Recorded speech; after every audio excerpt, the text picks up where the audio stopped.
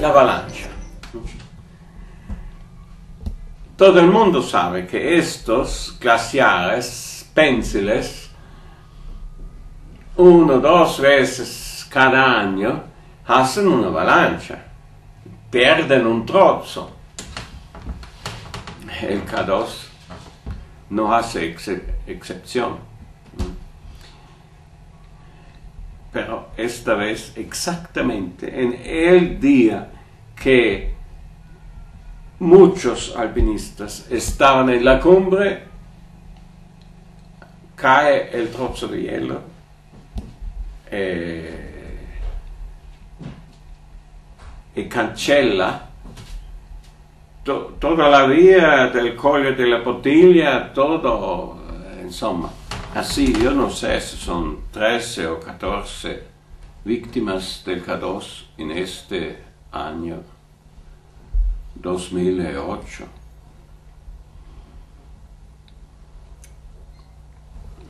La tragedia de este año con la tragedia del 1986 tiene poco en común, porque esta vez fue la avalancha del Serac.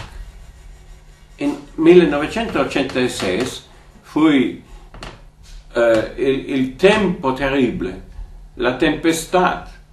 Eh, esas son dos cosas totalmente diferentes. Pero una cosa tienen en común. Fu desmasado gente en este sitio peligroso. Y cuando hay desmasado gente, uno y el otro no marchan la velocidad normal. En 2008, ahora, eh, penso, solamente a las 7 o a las 8 de la noche llegan en la cumbre.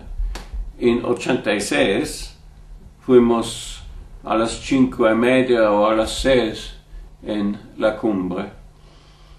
Hace una diferencia. También es claro, yo pienso que prácticamente todos los alpinistas tenían buena experiencia que fueron en el K2, en el 86 y también en el 2008.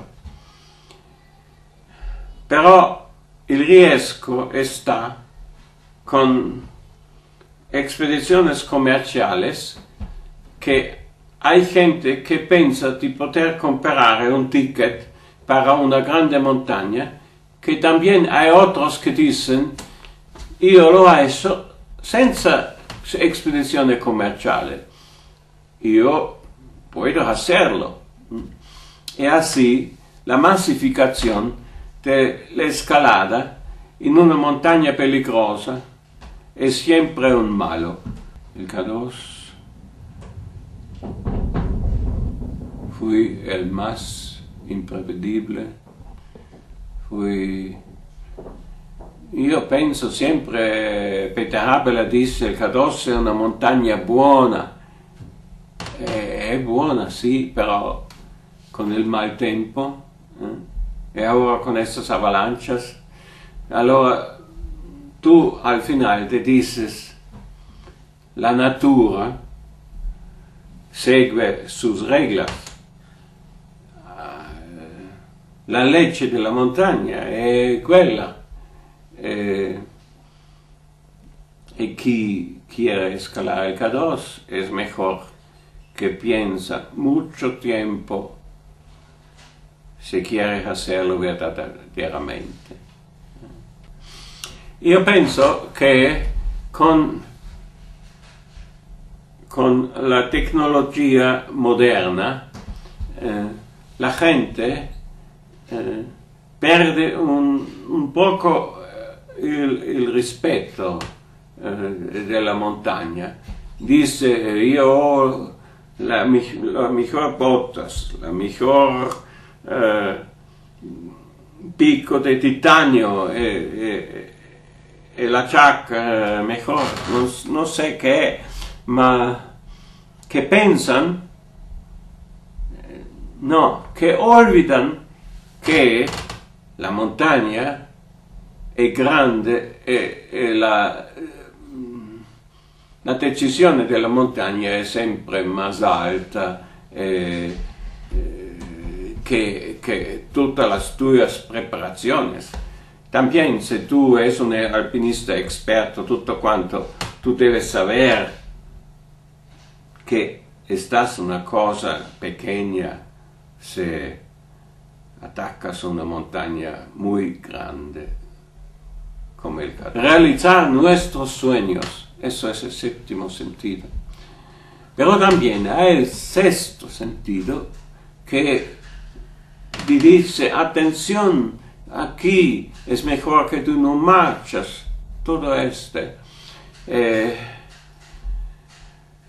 es muy difícil que la voz interior, que es la resultante de todas estas uh, cosas que tú hay dentro de ti, encuentra la vía justa. Por eso, si uno hace todo depresa e non pensa, probabilmente non vive molto tempo in la montagna. Mi padre mi diceva, Kurt, quando tu incontri una situazione che parece ser sin éxito, tu tranquillamente ti siedi e tu pensa, perché hai sempre una soluzione. Solamente necesita encontrarla. A veces ti llega l'ultima ora solamente perché tu non hai tentato todo para encontrare l'éxito. Penso che è necessaria una certa filosofia no? di accettare eh, la fine. No? però nunca perde l'idea di un possibile esito. L'alpinismo actual si è ramificato in muchas direcciones. Hay lo sport, hay, el plaisir, eh, que para mí no es sport. Eh? El plaisir es solamente que te gusta hacer este de toda la dificultad. Hay ellos que buscan siempre, ancora come io una vez buscando cristales, de encontrar una cosa uh, secreta. También hay estos. Hay otros que, uh, que buscan um, de, hacer muchas cumbres o muchas vías peligrosas o muchas que buscan el récord. ¿no?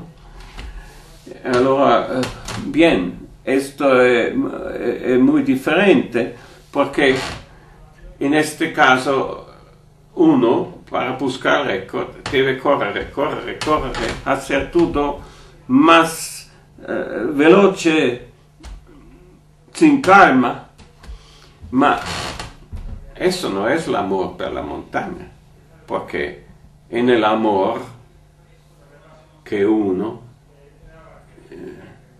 è innamorato di una donna o, o, o della natura, che, che la velocità è l'ultima cosa che, che hai la sua voce, anzi, è, destru- è distruggendo tutto.